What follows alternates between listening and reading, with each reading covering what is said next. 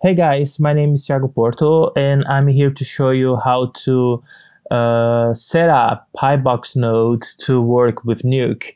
Uh, a few days ago, I did a Flame demo and I posted a few videos and I got a few messages asking how to properly set up there. So this is what I'm going to do here in this video is trying to show you that. I don't know if it's the exactly right way to do it, but it works. So here we are in the home screen logging.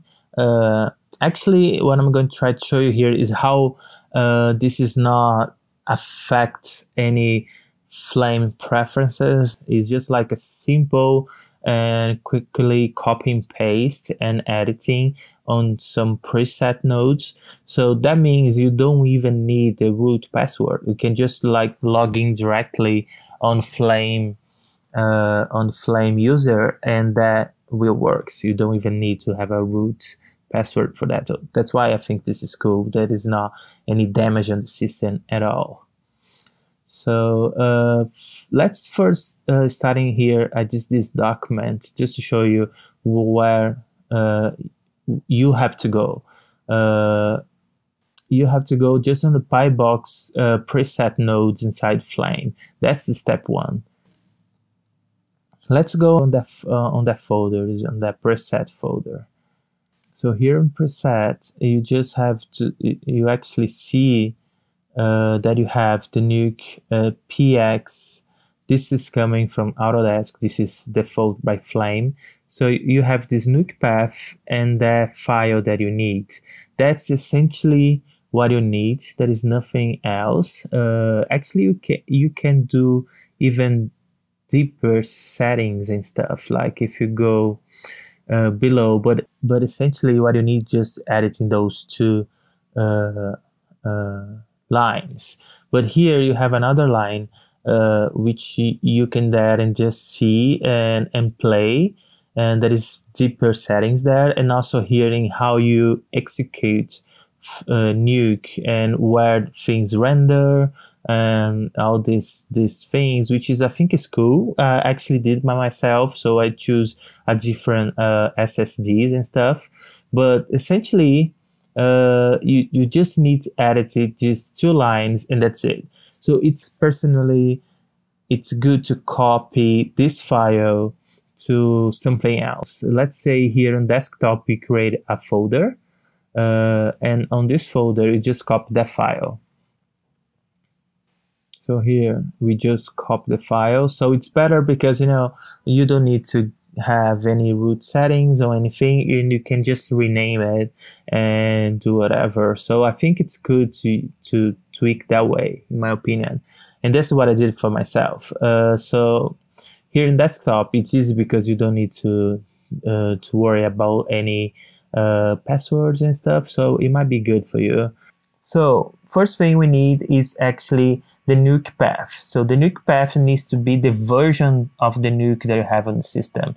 You can easily find that by double uh, uh, right click on the nuke icon, go to app application, and then here we have it.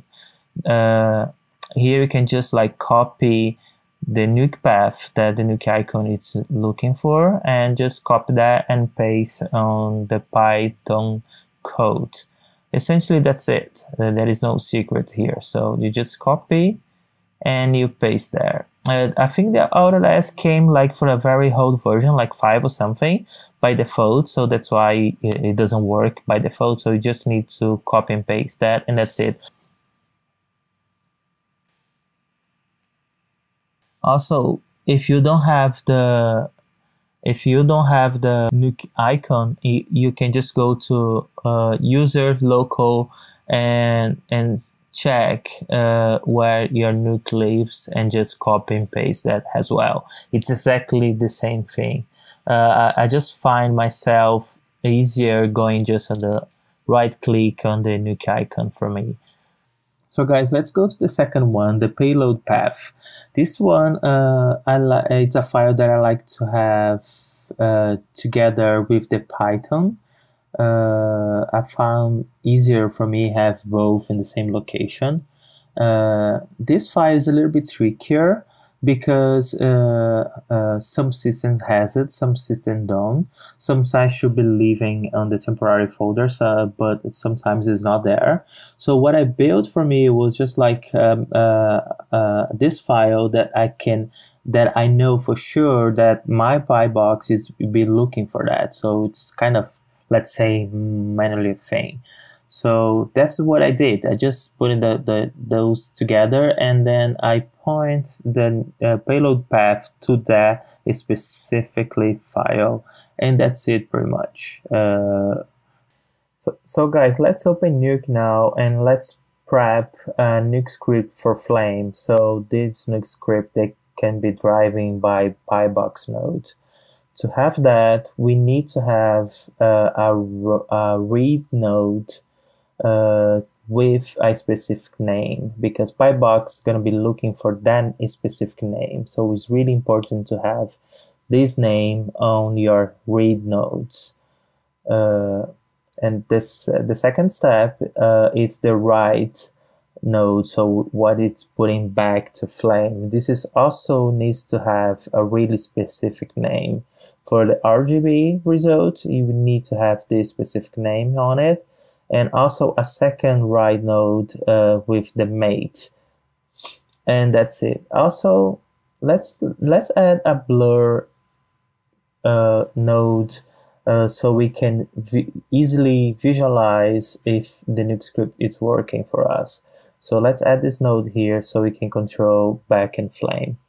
I'm gonna save this nuke script on this exact same path that we had before on the desktop so everything stays on the same place. I think it's easier for us to have that. And that's it. That's exactly what you need. Uh, uh, and they are here. So keep in mind that uh, I'm going I'm gonna give you this file on the link in the description so you can download everything and you have your Nuke script. Okay, so let's move to our flame now. So before we move, just I just want to quickly show you that I'm using here uh, graphic RTX family uh, from NVIDIA. This is really, I really recommend every, everyone to get those cards. It's really powerful. And I'm also using a really uh, higher core CPU, so that makes like a really strong machine. Uh, uh, let's move to batch quickly and let's let's load the Python here and uh, here. So before we move on, let's go to our folder on desktop. Remember that folder? And here on that folder, we have the same uh, file we prepped before, the Python node. So we load that, and then you can see that you can now load the nuke script, the same nuke script on the desktop folder that we also prepped before. Uh, so let's load that nuke script and now we're gonna see that happen uh, visually. But we can also see on the terminal if you want like it's now showing nuke as a command line. It's actually running nuke in the background. That's just cool. If you try to see anything here you can see that uh, it's now rendering a nuke and putting back to flame, which is really cool. Uh, but nothing's happening because our nuke script, it's actually, there is a blur node there, but nothing was added on the blur. So let's go there. Now we don't need to open nuke. You can just like hit editor and nuke comes pop out and then you can just now tweak the blur node. So let's add some values here. I don't know, maybe 40, 50, and then save. And then in the moment we return to flame, that should be affecting our comp, you see? So let's try now. It's actually just play with some contests here. So maybe add some to this transform and just like rotate a little bit so you can easily see that nuke is working in the background and it's updating in context of your comp here in batch.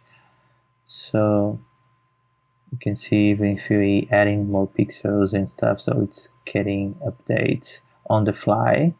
So yeah guys. So it's working. Hope this help you somehow and make easily to install this powerful uh, workflow. Thank you guys. Till next time. Bye.